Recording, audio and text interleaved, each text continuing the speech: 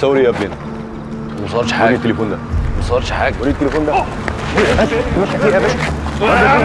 يا باشا في الشارع يا باشا يا باشا أنا بتمشى والله العظيم في الشارع أنا عملت طب انت واخدني على فين طب يا باشا حاسب يا جمال ده ملوش أي ملفات سابقة عندنا. كل اللي نعرفه عنه إنه كان مدمن ودخل كذا مصحة إدمان عشان يتعالج. عارفها أنا القصة دي. اتلم على شوية ناس وأقنعوني الجهاد هو اللي هيخليه يبطل إدمان. وان ربنا هيسامحه بالطريقة دي. بالظبط. هو طبعا رافض يتكلم وبينكر كل حاجة بيقول إن هو اتاخد ظلم. بس الواد ده بقى هو اللي أكيد وراه حاجة إبراهيم الخطيب. الواد ده أبوه مات في رابعة. طب خليك أنت مع جمال يا فايز. شوف هيوصلك لفين. وسيب لي أنا إبراهيم الخطيب ده. بصيتوا على تليفونه. طمني. التليفون فتح؟ فتحته ولقيته فعلا كان بيصور المكان. طب وريني.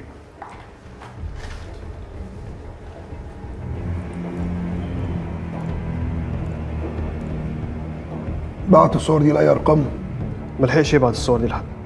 بس أنا كده كده عملت backup للتليفون ورجعت ال data القديمة. لا خلاص هو كده رسمي تبع الأجناد. طب الصادر والوارد إيه في التليفون؟ لا من الواضح إن الشريحة دي كانت استخدام نت بس. طب وريني بقية الداتا.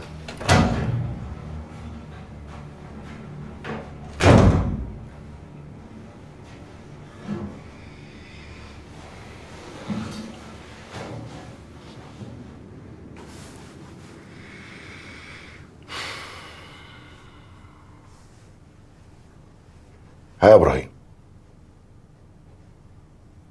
ها إيه يا باشا.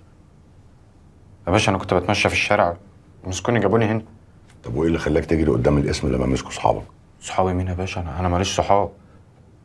أنا بخاف من الحكومة يا باشا والله العظيم. أنا أنا لقيتهم مسكوا واحد جريت.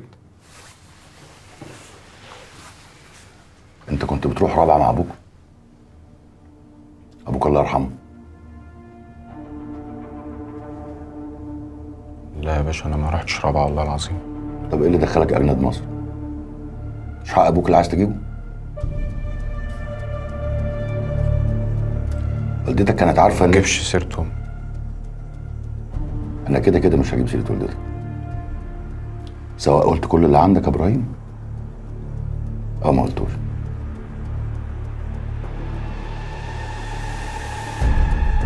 طب أنت عايزني أعمل إيه يعني؟ يا باشا مش هينفع أخون صحابي. خون أمك! خون إخواتك! اللي ممكن أي حد عادي في الشارع يفجرهم زي ما أنتوا بتعملوا. خلاص يا إبراهيم. انت وصلت لآخر الطريق يا ابني. لو عايز. لو عايز تصلح اللي انت عملته.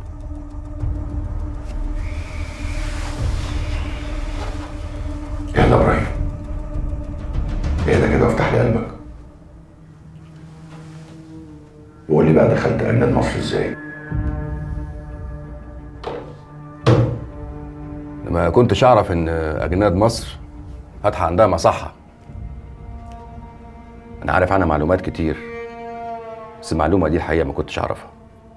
أنا مش مدمن. واضح يا جيمي إنك ما تعرفش أنت فين. ما تفوق يالا! إحنا هنا في الأمن الوطني. أنت هنا عشان عضو في تنظيم إرهابي. موبايلك عليه صور للاسم اللي أنت صورته وأنت وزمايلك كنتوا هتفجروه. ها؟ أكمل ولا تتكلم أنت أحسن؟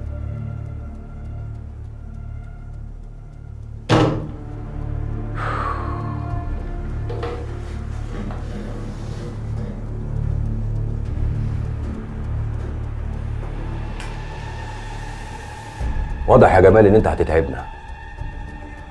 بس والله أنا لو مكانك وممسوك معايا البلاوي السودة دي كنت اتكلم أحسن. وبتمنى من قلبي إنك تتكلم بمزاجك.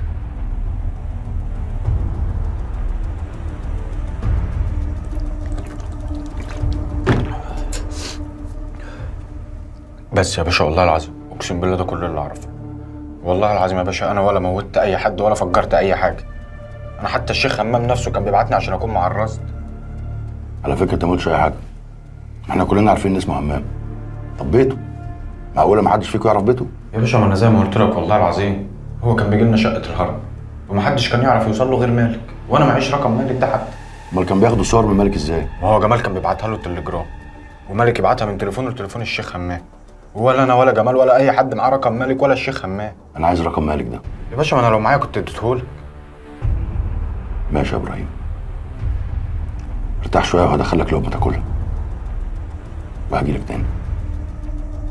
ماشي يا باشا. دي كل الصور اللي لقيناها على تليفونه؟ بدأنا نجيب كل المعلومات عن همام كان من الأنصار بس انشق عنه. مالك؟ لا مفيش. تسلم يا رمز جمع لي كله في فايل واحد وابعته لي لو سمحت. حاضر يا فندم. تعالى يا يوسف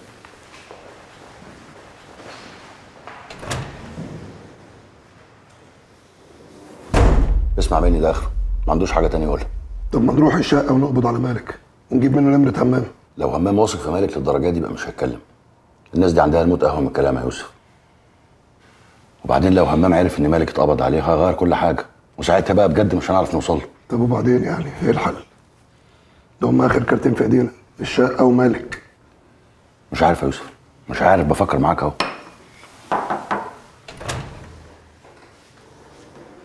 الواد جمال ده شكله هيتعبنا عشان يتكلم. بالنسبة لهمام دي كل بياناته.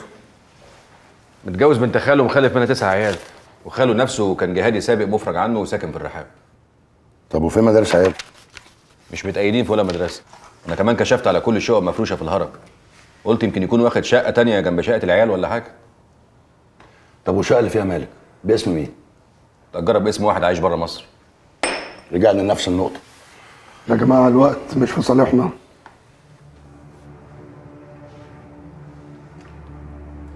أنا عندي فكرة بس مستحيل تتنفذ. إبراهيم. إحنا نمشي إبراهيم يروح يجيب الرقم ويرجع تقول يا زكريا. اللي هو رفعت لا يمكن يوافق. انسوا فكروا في أي حاجة تانية. أنا الفكرة دي كانت مسيطرة عليا طول ما أنا قاعد مع الواد.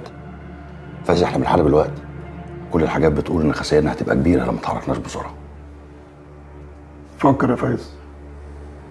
العيال دي كمان ساعتين من دلوقتي بيكبيروا لو ما رجعوش لمالك مالك هيعرف وساعتها مفيش همام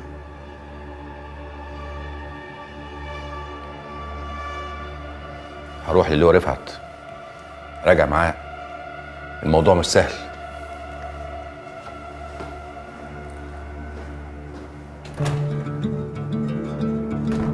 ما تقلقش. المرة دي إن شاء الله غير المرة اللي فاتت.